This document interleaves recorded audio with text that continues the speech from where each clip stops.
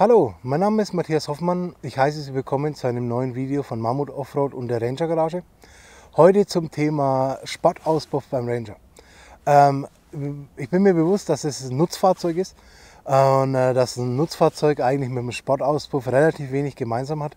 Ähm, aber dennoch gibt es Anfragen, ob man den Klang vom Ranger nicht verbessern könnte. Man muss leider sagen, kann man nicht.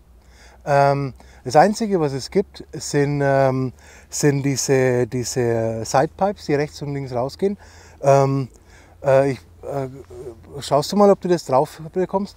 Sorry, wenn es ein bisschen wackelt, aber wir sind keine Kameraspezialisten. Wir verstehen nur was vom Ranger. Und äh, so sieht er, sieht er in der Nahaufnahme aus. Also wir haben zwei Auslässe.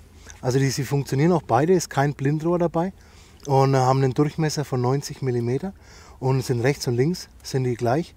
Und ähm, ja, ist ein, ist ein optisches Highlight. Also sieht, sieht so ganz gut aus. Aber wie gesagt, die einzige Möglichkeit, um, um Klang beim Ranger zu erzeugen, ist, die, ist der Einbau eines Soundmoduls. Ähm, jetzt gehen wir nochmal auf die andere Seite, um das ein bisschen zu zeigen. Sorry, es wackelt wieder ein bisschen. Und äh, ist aus Edelstahl der Auspuff. Und wie gesagt, zweiflutig auf jeder Seite. Und äh, es wird ausgeliefert mit TÜV-Gutachten. Und äh, so sieht er auf der anderen Seite aus. Und ähm, also macht optisch einen guten Eindruck. Und ähm, kommt auch gut an, egal wo man, wo man, wo man auftritt mit dem Auto.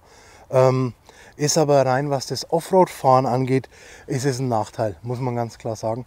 Ähm, weil wenn man über, über Steine fährt oder über Baumstämme oder ähnliches, ist es natürlich, natürlich, schneidet es die Bodenfreiheit ab. Das ist, ein, das ist ein, leider ein Nachteil, aber da muss man schon sehr ins Gelände fahren, damit das ein Problem wird. Ähm, ist ein relativ gefragter Artikel. Es gibt immer wieder, wieder Kunden, die, die dir nachfragen. Und dann haben wir gedacht, machen wir ein kurzes Video und dann erkennt man es vielleicht ein bisschen besser. Und äh, den, den, zu unserem Online-Shop, den Link dazu, der befindet sich in der Videobeschreibung. Einfach unterhalb vom Video draufklicken. Und äh, ja, vielen Dank fürs Zuschauen und bis zum nächsten Mal.